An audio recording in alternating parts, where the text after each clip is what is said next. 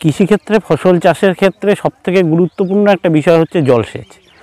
কারণ শস্য চাষের ক্ষেত্রে নির্দিষ্ট পর্যায় ভিত্তিকভাবে আমাদের জলসেচ করা হয়ে থাকে এবং এই জলসেচের উপর নির্ভর করে যেই ফসল, সেই ফসলের গুণমান এবং তার যে হচ্ছে উৎপাদনশীল, উৎপাদনটা নির্ভর করে থাকে জলসেচের উপর। আমাদের প্রথাগত যে পদ্ধতি হচ্ছে ড্রেনেজ সিস্টেমের মাধ্যমে খোলা আকারে ফ্লাডেড আকারে জল দেওয়া হয়। কিন্তু বর্তমানে এই যে তীব্র বিভিন্ন জায়গায় যে তীব্র জলসংকট দেখা দিয়েছে, এই জলসংকট থেকে বাঁচানোর জন্য আমাদের যে সরকার, যে ভারত সরকার এবং তার সঙ্গে সঙ্গে পশ্চিমবঙ্গ সরকার যে পদ্ধতিটা নিয়েছে, যে এভাবে যদি ভূগর্ভস্থ জল তুলতে থাকে, তাহলে একসময় দেখা যাবে যে মাটির নিচে আর জলের স্তরটা সেইভাবে থাকছে না। তাই কৃষিক্ষেত্রে আধুনিক পদ্ধতি হিসেবে স্প্রিংকলার এবং ড্রিপ ইরিগেশন, এই দুটোর যে নতুন পদ্ধতি এই পদ্ধতিটা এখন কৃষিক্ষেত্রে বিশেষ করে মানে প্রয়োগ করা হচ্ছে। এবং আজকে যেটা আমরা ডেমনস্ট্রেশন দেখানো হচ্ছে, সেটা হচ্ছে স্প্রিংলার ইরিগেশন যেটা আমাদের লতাপাতা গ্রাম পঞ্চায়েতে লতাপাতা মৌজার এক ফার্মার্স তার ক্ষেতে আমরা করছি স্প্রিংলার ইরিগেশন এবং এর সাহায্যে দেখানো হচ্ছে যে কীভাবে কম জলের মাধ্যমেও ফসল উৎপাদন করা হয়। এবং যেটার সাহায্যে আমাদের একটা জলের যে অপচয়, সেটা রোধ হবে। এবং চাষির ক্ষেত্রে যে ফসল চাষে খরচটাও কমে যাবে।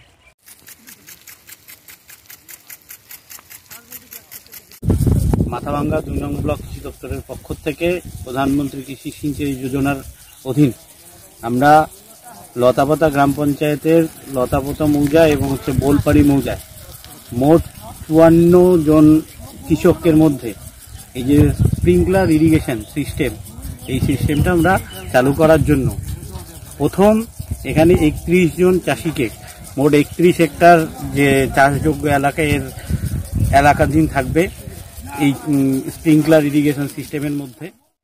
এই প্রকল্পের যে যদি সুবিধা পেতে হয়, তাহলে চাষিকে প্রথমে যে জিনিসটা করতে হয়, যে আমাদের ব্লক কৃষি দপ্তরের সঙ্গে যোগাযোগ করে যে আমরা নির্দিষ্ট কতগুলো জায়গা পছন্দ করে নিই, বেছে নিই। যেটা হচ্ছে সেই জায়গার যে সংশ্লিষ্ট কৃষক থাকবে, তারা হচ্ছে তার পরিচিতিপত্র এবং তার সঙ্গে জমির কাগজ সহ আমাদের ব্লক অফিসে যোগাযোগ করবে। ব্লক অফিসে যোগাযোগ করার পরে আমরা তার নামটা নথিভুক্ত করে রাখি এবং যখন ওই নির্দিষ্ট এলাকাটা সিলেক্টেড হয়, তখন সেই সমস্ত চাষিদের আমরা অগ্রাধিকার দিয়ে থাকি। কারণ এই ক্ষেত্রে যেটা দেখা যাচ্ছে যে হয়তো অনেক ক্ষেত্রে চাষির সংখ্যাটা বেড়ে যাচ্ছে। যে আমাদের হয়তো আমরা ওখানে কুড়ি বা পনেরো হেক্টর বা পঁচিশ হেক্টর করব, সেক্ষেত্রে চাষির অ্যাপ্লাই করার সংখ্যাটা হয়তো তুলনামূলকভাবে বেশি হয়। তখন প্রায়োরিটির দিক থেকে আমরা সেই চাষিগুলোকে বেছে নিই। এবং এই প্রকল্পের প্রথমে প্রথমে স্প্রিংকলার এবং এর আর একটা পার্ট আছে, যেটা হচ্ছে আদার ইন্টারভেনশান আদার ইন্টারভেনশানের ক্ষেত্রে বিভিন্ন রকম, যেমন হয়তো পুকুর পুকুর থেকেও এর সাহায্যে জল তোলা যাবে বা হচ্ছে শ্যালো শ্যালো এবং টিউবওয়েল আমরা এক্ষেত্রে দুইটা, যে শ্যালো টিউবওয়েল এবং তার সঙ্গে পাম্প সেট ইলেকট্রিক মোটরও হতে পারে বা ডিজেল চালিত পাম্প সেটও হতে পারে। তা, সেটা হচ্ছে আদার ইন্টারভেনশনের মাধ্যমে চাষিরা সেই সুযোগটাও পেতে পারে। যদি কেউ ওই সুযোগ সুবিধাটা নিতে চায়, তাহলে তার প্রথমে প্রথমে হচ্ছে স্প্রিংকলার ইরিগেশনটা নেওয়ার পরবর্তীতে আমরা তাকে সেই সুযোগ সুবিধাটাও দিয়ে থাকি। স্প্রিংকলার ইরিগেশনের সাহায্যে জলসেচের যেটা সুবিধা, প্রথম সুবিধাই হচ্ছে এখানে যে কোনো চাষের ক্ষেত্রে জলটা খুব কম পরিমাণে লাগে। যেটা আমরা ফ্লাডেডভাবে জল দিই বা একদম ছাড়াভাবে জল দিই, তার থেকে পরিমাণে প্রায় ধরতে গেলে ওয়ান ফোর্থ জল এইখানে ব্যবহার হয়। দ্বিতীয় সুবিধা হচ্ছে যে, প্রথম অবস্থায় শস্য ক্ষেতে যদি সামান্য পোকামাকড় যেটা লাগে, তার প্রাথমিক পরিচর্যাটা, কোনো রকম কীটনাশক ব্যবহার না করে যদি স্প্রিংকলার চালানো যায়, তাহলে সেই জিনিসটা হয়ে যাবে। যার ফলে পোকামাকড় সেটা নিয়ন্ত্রণের মধ্যে থাকে। যার জন্য চাষির ফসল চাষের ক্ষেত্রে খরচ তুলনামূলকভাবে কমে যায়। এর আর একটা সুবিধা যদি বলা যায়, তাহলে হচ্ছে যে বিশেষ করে আলু খেতে।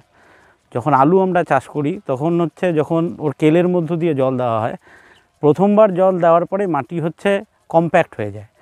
মাটির একটা কণার থেকে আর একটা কণার মাঝের যে ফাঁকা জায়গাটা, সেটা কমে যায় এবং যার ফলে সেটা শক্ত পরিণত হয়।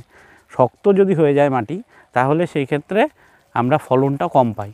কিন্তু যদি আমরা এইভাবে স্প্রিংকলারের সাহায্যে যদি আলু খেতে জল দিই, তাহলে দেখা যাবে যে হচ্ছে আমাদের ফলনটা বাড়ছে, মাটিটাও ওই অতভাবে কম্প্যাক্ট হচ্ছে না, ঝুরঝুরে থাকবে এবং ফলন অটোমেটিক্যালি বেড়ে যাবে এবং ক্যাট যে আলুটা হয় বা ছোট সাইজের যে আলুটা, সেই আলুটা হবে না।